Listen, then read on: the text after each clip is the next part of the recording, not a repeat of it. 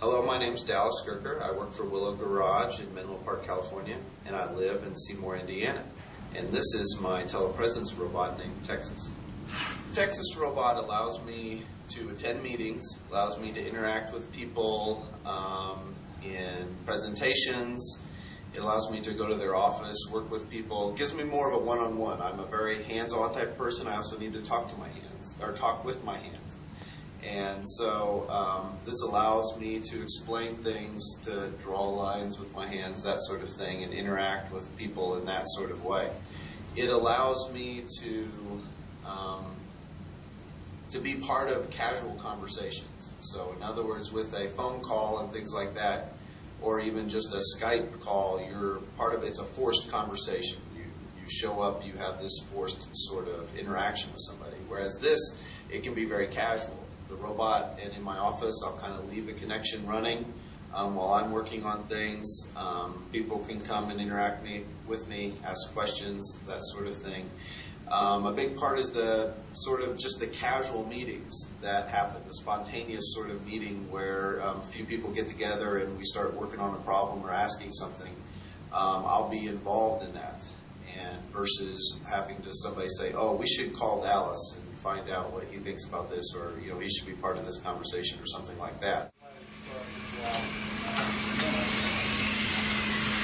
It evolved from the idea that Willow Garage builds robots, and um, someday the thought was, well, when we had available PR2 robots around, I could kind of commandeer one of them and use that as my eyes and ears and be able to drive that around remotely.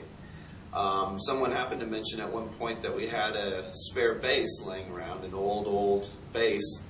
And the idea came to me, oh, well, all I need is one caster of that base. Can someone please send me a caster?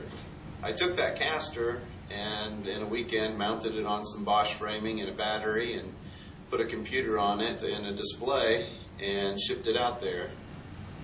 Texas is based off of the PR2 hardware. Um, the control systems, the casters, everything. It, it, very much represents what ROS and what PR2 is about, is kind of this generic platform that allows it to be used in a variety of ways. So ROS software is used for the teleoperation, for the nav stack, and um, odometry, all that sort of thing. The only thing I had to actually change was the description of the file. So instead of this being a PR2 with a bazillion bells and whistles and all kinds of things, it was just simply a PR2 with one caster, and it was physically located this way relative to the wheels, and after that, it just ran.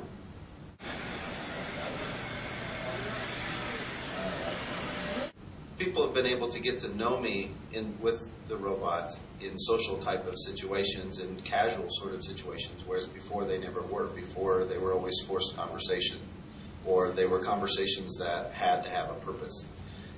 So now I meet people in the hallway, say good morning, they say good morning to me, um, talk about our day or talk about things, talk about um, various casual aspects about what we're working on. Um, those, to- those types of interactions are very important.